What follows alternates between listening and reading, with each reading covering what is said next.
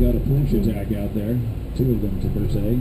Car number six of the novice class coming around the last corner, heading towards the finish line as car 61 tears up the backside of the track.